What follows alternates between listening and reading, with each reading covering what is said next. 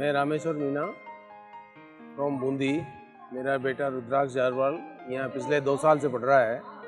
यहाँ की सिक्योरिटी और यहाँ का जो माहौल है उससे मैं पूरी तरह संतुष्ट हूँ। सिक्योरिटी के मामले में बच्चा जब यहाँ आता है तो हमें किसी तरह की कोई चिंता नहीं रहती।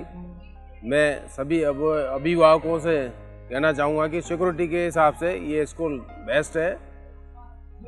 शैक्षणिक माहौल बहुत अच्छा है। और इस क्षेत्र में इससे अच्छा कोई स्कूल नहीं है।